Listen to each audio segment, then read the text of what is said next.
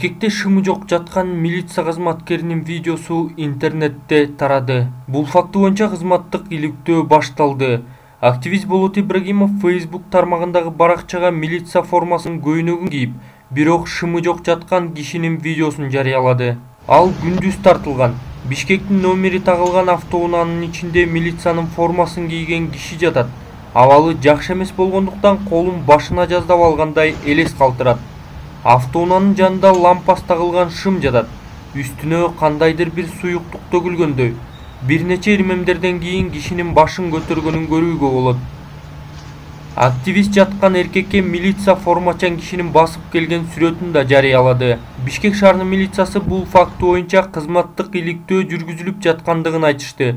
Балким анын жыйынтыгы менен кызматкер ишинен кетиши мүмкүндүгүн кошумчалашкан